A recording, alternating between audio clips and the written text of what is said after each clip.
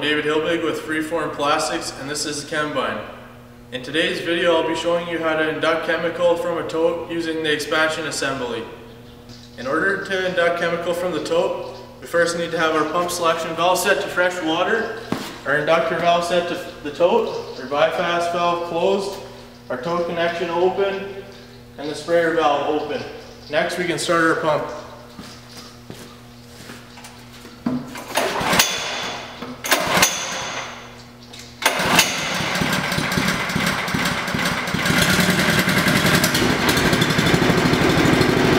Once the pump is running, you can open up the valve connected to your tote and induct chemical into the system.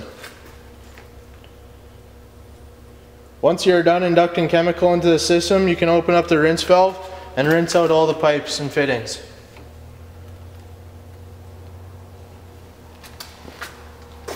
This concludes our instructional video on how to induct chemical from a tote using the expansion assembly. Once again, I'm David Hilbig with Freeform Plastics. Thanks for watching.